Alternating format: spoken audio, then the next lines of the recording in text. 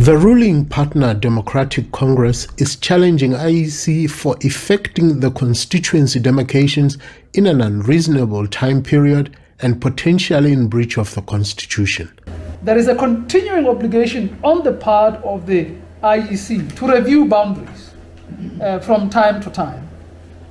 Now, so the Commission shall review the boundaries of the constituency into which Lesotho is divided in the case of any review after the review of the boundaries referred to in section 159.3, not less than eight or more than 10 years from the date of completing the last review.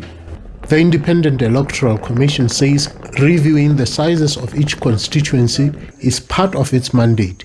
But DC says the timing of this move is irrational and will negatively disrupt the election campaign.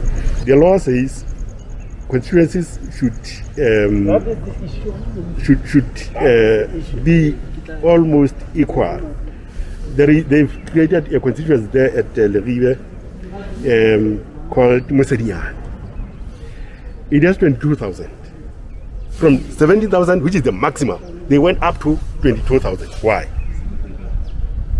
There are, there, there are, I think there are two constituencies that are 12,000 members they could not reach 14,000, but they are left as constituencies. They dismantled uh, four constituencies from the south and created such constituencies here in Maseru. All four of them are brought to Maseru, creating a big space now for the remaining constituencies to stretch to distances we cannot imagine. As the election campaign season takes momentum, many parties enjoying support in either the remote or urban constituencies, this new adjustment will likely have an impact in party campaign strategy. SABC News.